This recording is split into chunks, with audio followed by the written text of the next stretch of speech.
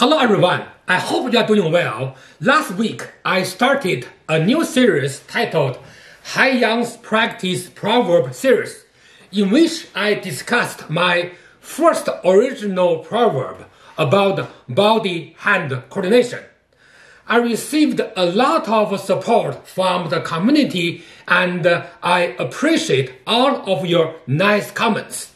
So, as planned earlier, in today's video, I will first answer a couple of questions asked by the community members and then introduce the second proverb. Tracy Stephens asked, quote, Does the actions described in this proverb apply to all three of the internal styles? Thank you, Tracy. Let's quickly recall last week's proverb. The hands lead the power, the body chases the hand, and finally the body sends the power. This proverb describes the subtle body mechanism in martial power generation applied in both defense and attack situations. So, yes, it can and should be applied to all three internal styles of uh, martial arts.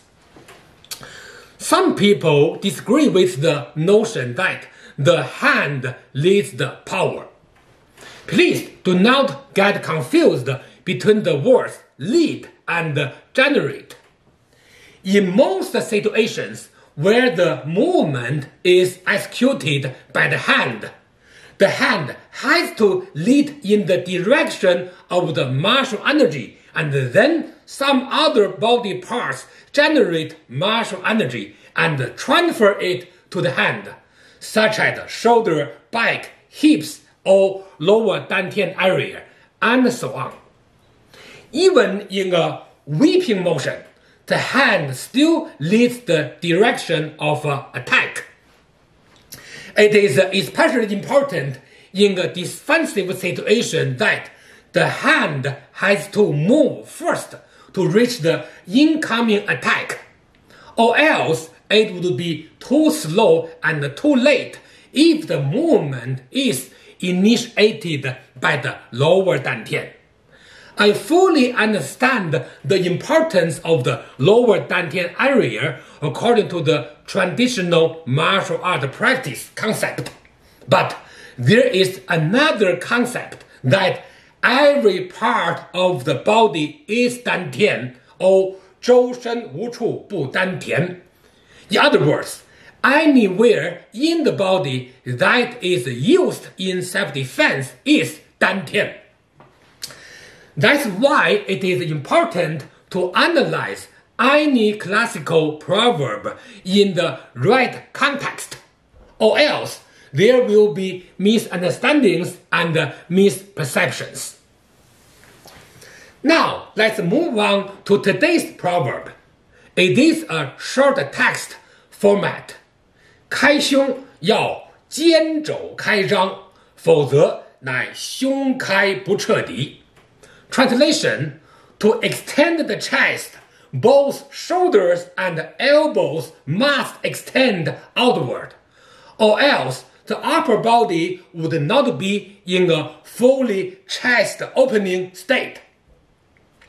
First, let me translate the Chinese version word by word. Kai means extending, opening. Xiong means chest. Yao means should. Jian means shoulder. Zhou means elbow. Kai means opening. Zhang means extending. Fo means if not. Ze means then. Nai means would be. Xiong means chest. Kai means open. Bu means not. Che means thoroughly. Di means complete. Put together, it means that in martial art practice, especially during Fajin or martial energy releasing movements, if the chest extending motion is involved, then the shoulders and the elbows need to be extended as well. Otherwise, the chest extending or chest opening movement won't be complete or thorough. I created this proverb based on my training and teaching experience. Very often, I have observed that the root cause of a lack of martial energy in a movement is caused by the stiffness of the upper body, especially the chest area. Then I analyzed the cause of the stiffness of the chest area to be mainly the lack of extending motion of the shoulder and the elbows. For example, many martial art movements such as fire fist or Pao Chuan in Xingyi five element training requires that both elbows extended slightly to the sideway in order to generate martial energy. Let's check out some old photos of a fire fist of Xue Dian and Sun Lutang. You can see the obvious extended motion of their shoulders and elbows. Now, let's check out Cheng style's Shuang Huan Zhang, the double striking pound. You can find out the same principle is applied here as well. At this point, you may be wondering if I have even heard about a proverb in Chinese internal martial art dealing with the shoulder and elbow called Chui Jian Zhui Rou or sing the shoulder and drop the elbow. Of course, I have heard about it even since I was a child.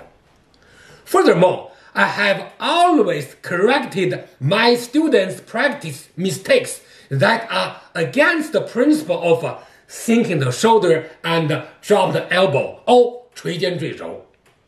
Now, here's what the community in general needs to understand. Merely knowing a proverb is not sufficient. You should also be able to differentiate between a proverb and the timing of application of a proverb. We should not limit and restrict our practice by assuming a mechanical interpretation of a proverb, since a specific proverb is used for a specific situation in practice. In contrast, general proverbs provide general guiding principles for practice. The proverb that I'm introducing today is used in dynamic situations, but still follows the general principle of 垂肩坠肘, which describes the overall state of a martial energy. Now, let me explain the proverb a bit further.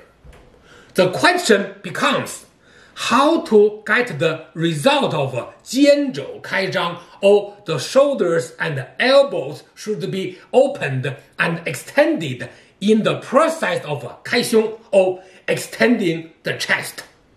There are two aspects that I'd like to point out here. First, the chest should extend outward, and elbows should lead the extending motion by pulling the shoulders. It's just like this. In other words, chest pushes, elbow extend, and elbows pull the shoulders. So, to practice a complete and thorough chest extending movement, those three sub movements, including elbow, shoulder, and chest, should be done simultaneously. And this is the key point here. By the way, I recommend you check out my video titled Decoding Martial Proverb 11 Guarding Posture 肘不离肋. The link is in the description. Again, let's review the proverb together. To extend the chest, both shoulders and elbows must extend outward, or else the upper body would not be in a fully chest opening state. That brings us to the end of today's video. Please post your questions about this proverb in the comment section. I will answer them for you in the first part of uh, next week's video. I hope you will enjoy this new series. Thanks for watching. See you next time and uh, enjoy your practice.